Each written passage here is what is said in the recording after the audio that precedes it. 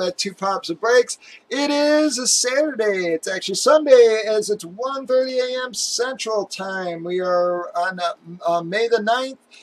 We are breaking a bomb a box slab comics. We randomed up the six remaining boxes.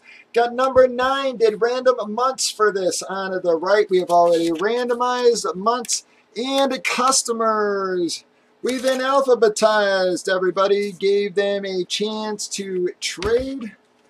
Oh man, guys, actually, I want to make sure I did randomize. Yes, I did. Okay. All right, here we go. Slice, slice of your seals, but nobody trades months, so here we go, folks.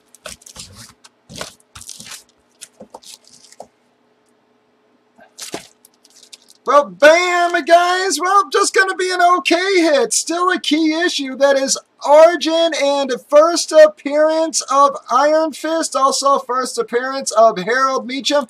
It is a May, folks. It is a Marvel Premiere 15 May. First appearance of Iron Fist. Guys, um... May, it is a 6-5, which might hurt it a little bit, guys. Um, otherwise, it would probably be a nasty issue. I'm not even sure. Let me double check where that's at, guys. So,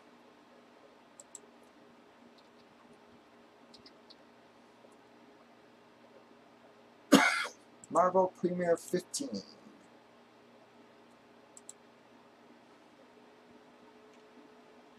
Oh, shit, guys. That's about a $170 book. Uh, so it's between a $170 $190 book, guys. Look at how many big books we're pulling out of these things right now, guys. That is how many issues that have been in the 200 hour range, folks. And we have still not found our case hit, folks. That is a May, like I said, um, a 6.5 is between like 170 $190, folks. So going to be a May Golf God right at the top of our list. Well, Golf, I'm sorry to everybody else. Steve um, stayed everybody there, bud. Nice hit for Golf God Origin and first appearance of Iron Fist. That's going to wrap up that one box. So, guys, we keep pulling nasty out of these things, guys telling you, these are by far the best value of anything, folks. I mean, a bad hit in these things is 100, 125 bucks.